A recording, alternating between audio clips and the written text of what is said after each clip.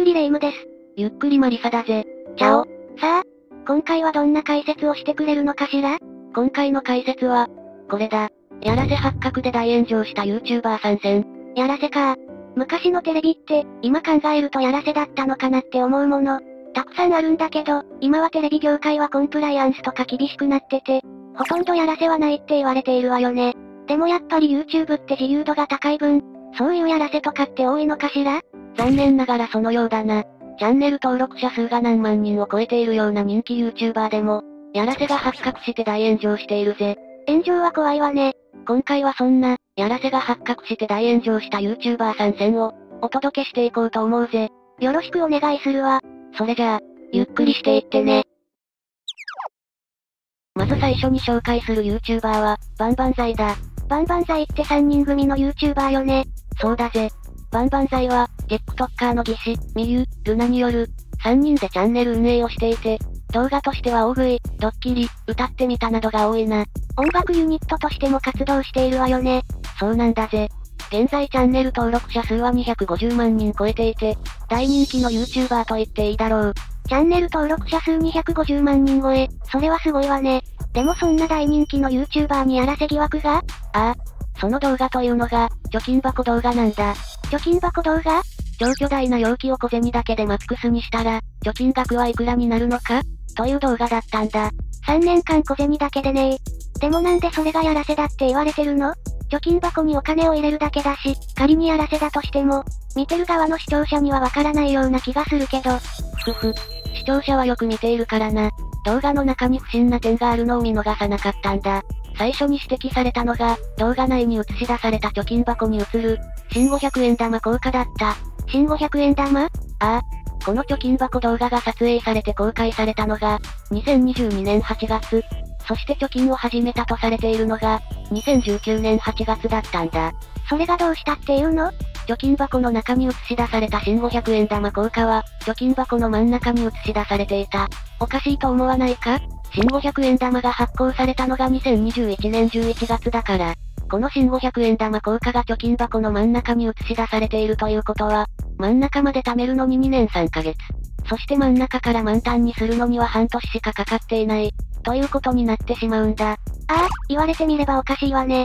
コツコツ貯めたって言ってるのに、途中からペースがおかしくなってるわ。それにこの動画の画像を見てくれ。貯金箱の中の効果はなぜか、綺麗に表面が見えているだろ？コツコツと効果を貯金箱の中に入れたとするのなら、こんな風にはならず、効果は横になっているはずでは？という指摘もされているんだ。確かに、動画としての見栄えはバッチリだけど、こんな風に綺麗に見えるのはおかしいかも。SNS 上では、効果を貯金箱の中に一気に入れない限りは、こんな風にはならないのでは？という意見が上がっていたぜ。よく見ているわね。さらには酔っ払って入れたとされている1万円が、綺麗に見えるところに入れられているのもおかしいと言われているな。こんなバカでかい容器に入れて、1万円が映え抜群の位置にあったら、確かに怪しいわね。そしてこの動画がやらせではと言われている理由は他にもあるんだ。なになにそれは、3年もかかって3人で貯めていた割には、過去の動画内で一切言及されていないのはおかしい、ということだ。え？一度も触れられてないの？そうなんだ。普通 YouTuber として活動していたら、これだけの長い期間をかけて貯めていた貯金箱のことを、少しくらいは言及するものなんじゃないか？というのが、視聴者の見解だ。まあそうよね。視聴者の立場からしても、あの貯金箱どうなったのかな？って気にしてもらえるし、3年も本当に貯めてたとしたら、少しくらい話題になってもおかしくないわね。メンバーの間では、瓶がいっぱいになったら企画にしよう、と話していたということだが、真相はどうだかな。おそらく貯金箱の新500円玉効果の矛盾や、効果の入り方などがやらせではないかという決定だとなってしまったんだろうな。この動画が原因で離れてしまったファンも、一定数はいるようだな。仕方ないっちゃ仕方ないわね。バンバンザイはグループとしてだけでなく、個人でも割と炎上していることがあるぜ。男性メンバーの技師のセクハラとかな。女と男でやってるとそういうこともあるわよね。セクハラとかは女性視聴者は無理ってなりそう。そして二つ目に紹介するのが、エムレナだ。カップル YouTuber ね。イチャイチャしやがって。妬むなよ。この二人はチャンネル登録者数170万人超えと、中高生を中心に爆発的な人気を誇っていた、カップル系 YouTuber だが、4年半の交際にピリオドを打ち、2021年1月に破局していて、現在はチャンネルも削除されているぜ。あら、そうなのね。カップル系 YouTuber って、やっぱり若い子たちに人気があるイメージよね。それでこの二人は何がやらせだったの？ビジネスカップルだったとか？いや、交際は本当にしていたぜ。やらせと言われている動画はいくつかあるから、一つずつ解説していこう。そんなにあるんかい。よろしくお願いするわ。M レナは彼女のフクレナと、彼氏の M 君の二人で、ドッキリ動画などを上げているんだが、やらせが疑われているのが、フクレナが生理で寝込んでいる時に、M 君がフクレナの髪の毛を染め、フクレナが大激怒した、というものだったんだ。え、生理中にそれは同じ女としてもないと思うわ。生理でしんどくて寝込んでる彼女の髪を染めるとか、霊夢と同じように、女性視聴者はフクレナを擁護し、逆に M 君には攻撃的なコメントがつくこととなってしまったんだ。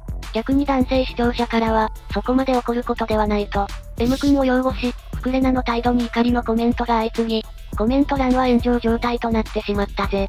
生理の辛さを男がどれだけ理解できていないのかが、よくわかるわね。まあここではそんなことどうでもいいのよね。それでどうなったの？だがこの動画、一部ではやらせなのではないかと言われているんだ。まあ普通に考えて、生理で寝込んでいる彼女に対して髪を染めるとか、そしてそれを動画で上げるなんて考えないからな。まあそれもそうね。それに動画内でフクレナがカメラを意識しすぎなんじゃという指摘の声も上がっていることから、やらせではないかと疑われているぜ。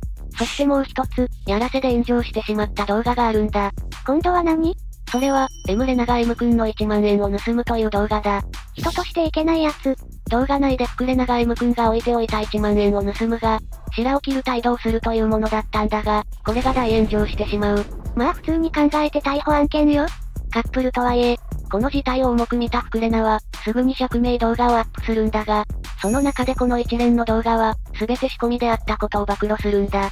それはそれで炎上するけど、霊夢の言う通り、見ていた視聴者からは、これまでの動画もやらせなんじゃないかと思ってしまう。という声が上がってしまうんだぜ。ドッキリとかやってるんだからなおさらよね。そしてまだやらせ疑惑の動画はあるんだ。まだあるの？どんだけあるの？これが一番炎上したと言ってもいいかもな。2019年5月にアップされた動画で二人は、ボストンテリアの子犬を飼い始めたことを、視聴者に報告しているんだ。ふむふむ。それ自体は特に問題なさそうだけど？問題だったのが、この子犬を飼い始めた経緯だった。二人は犬を飼い始めた理由について、M 君の親戚の家で生まれたものの、そこでは飼育ができない状態だったので、二人が飼うことになった、と動画内で説明したんだ。そしてもし自分たちが飼わなければ、子犬は保健所に連れて行かれる可能性もあった、としていて、これを見た視聴者からは、賞賛の声が上がったんだぜ。それが本当なら偉い。うむ。確かにこの動画を機に、二人の好感度は急上昇するんだ。だがこの感動ストーリーに、衝撃の展開が訪れるんだ。この動画を見ていた視聴者の中から、二人が飼っている犬は、自分たちがペットショップで購入しようとしていた犬だと、主張する人物が現れてしまうんだ。これはまずい展開ね。しかも、ペットショップで撮ったという写真付きでな。でもぶっちゃけ同じ犬種なら、写真だけじゃわからないんじゃない？見くびるなよレイム。なんと SNS に投稿された子犬の写真を検証するものまで現れ、最終的に一致する部分が多いことから、この投稿者の主張は本当だと、結論付けられることになったんだ。ってことは、マジで嘘だったの？ややこしいな。この騒動を受けて、二人はペットショップの子犬であることを、素直に認め謝罪したんだぜ。ええー、好感度のため？ちょっとひどいわね。嘘をついた理由については、まず、後で犬の飼育を放棄すると思われるのを避けるためだとしているな。というのも、フクレナと M 君が同棲を始める前、フクレナには飼っていた犬がいた。だが同棲を始めるにあたり、フクレナの実家で飼ってもらうことになったんだが、これについてファンからは、かわいそうという声が多く上がった。そんな経緯もあって、この子犬もしばらくしたら放棄するのでは？と言われるのが嫌で、嘘をついたということらしい。でももらった犬だから、そういうことしないってことにはならない気がするけど、他の理由は何だったのかしら？もう一つの理由が、有名 YouTuber としての影響力を、懸念したものだとしているぜ。具体的にどういうことなのかしら要するに、今すぐにでも飼い主が必要な保健所からの犬を、引き取らなかったのかと言われる恐れがあったから、ということらしい。うーん、なんかどっちも取ってつけたような理由よね。嘘がバレたから後付けの理由をつけたような。こんな説明で視聴者やファンは納得したのかしらもちろん、大半が霊夢と同じような意見だったぜ。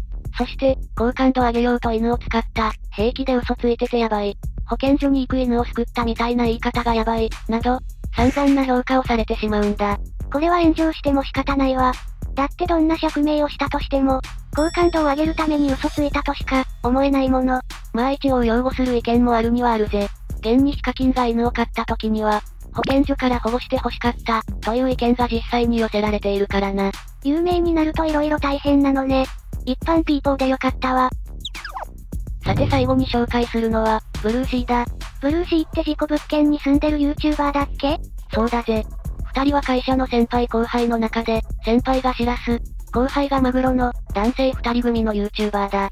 もともとはゲームの実況をしていたが、その頃はあまり人気がなく、今のスタイルになってから人気が出始めたようだぜ。心霊ものって、昔から根強い人気があるもんね。YouTube になっても同じなのね。そうだな。二人は事故物件で起こる心霊現象をネタにして、YouTube を行っているんだが、あまりにも頻繁に心霊現象が起こっていることから、視聴者から、やらせなのでは、と疑惑の目を向けられることとなってしまったぜ。